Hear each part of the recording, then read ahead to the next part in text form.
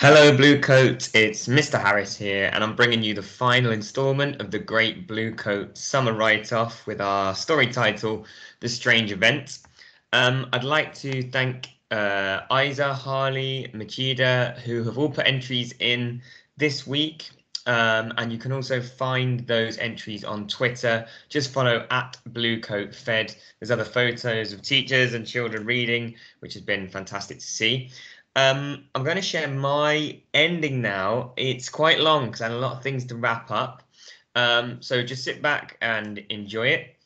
Um, remember what you think about the ending. Do you want it to end happily? Do you leave it as a cliffhanger, as if there's going to be a next installment to your book?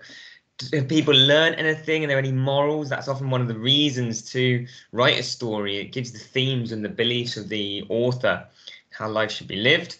Um, so if you want to read what's already been done on mine, I'm going to flick through the screen now. All you need to do is just pause on those um, slides and you can catch up with what I have been saying or alternatively you can look at the previous videos that are in this thread but without further ado I will start the final ending.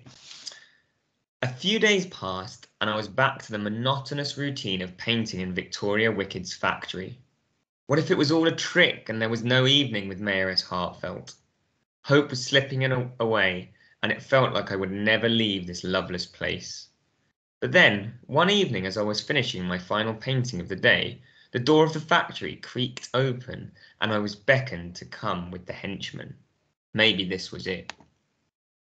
Disconcertingly, one of the henchmen placed a bandage around my eyes so I had no clue where I was going.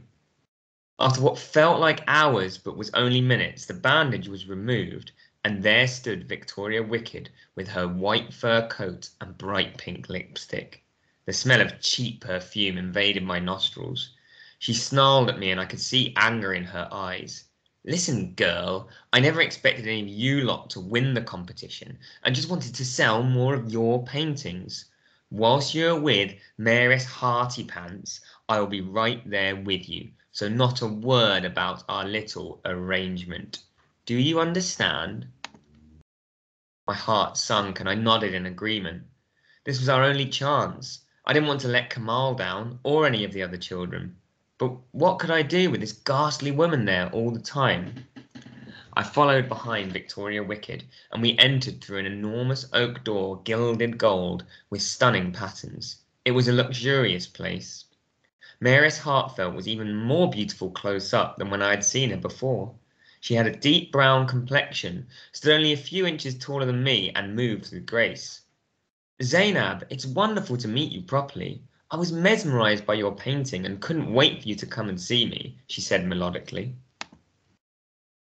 The evening continued, and we were brought platefuls of food, the like of which I had never seen, and I had certainly not had anything like this whilst being captive.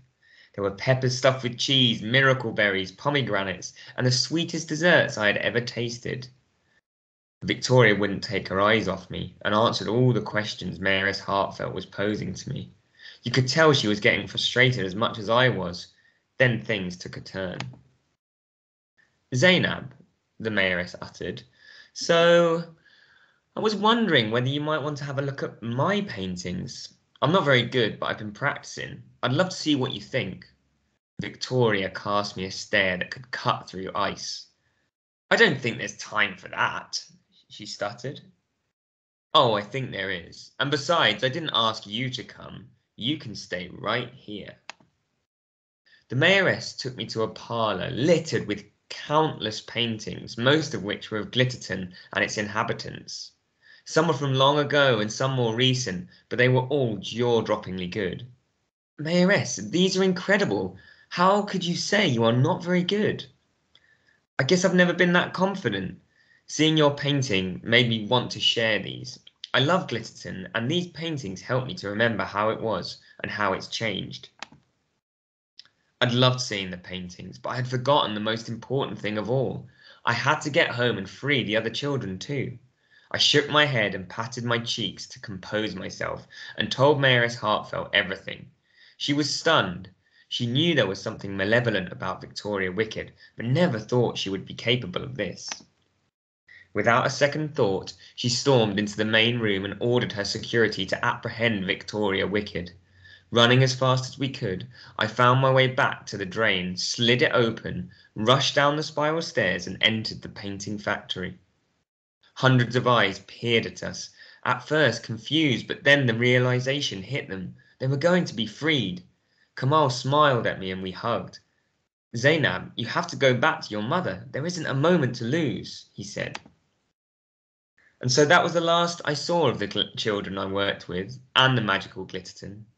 Before I left, I managed to bring the painting of my mother that won the competition, as well as the painting of my father. These items had provided me some peace during this dreadful time.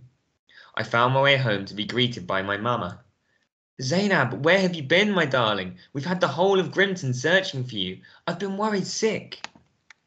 I know, Mamma, and it's a long story which I can explain later. But first, I want to show you something. I removed both paintings from my satchel and presented them to my mamma. Confusion turned to joy as tears began to fall down her face and she took in the images of herself and my father. She gave me the warmest hug as we wept together as we parted, she looked at me and I said, maybe we could do some painting together now, mummy. And uh, that is the end. So I hope you've enjoyed it. I've certainly enjoyed writing it. In fact, I could have made it much, much longer, but I think that's long enough. Um, if you haven't um, written anything yet, it's not too late. You've actually still got uh, a week left, and you can send entries to lbarry at bluecoatfederation.co.uk or so postbox at bluecoatfederation.co.uk, or of course, you can bring them into uh, school on your first day back given to your teacher because we'll be celebrating uh, the entries that we've had. Okay, enjoy the rest of your holiday and I'll see you all soon. Bye.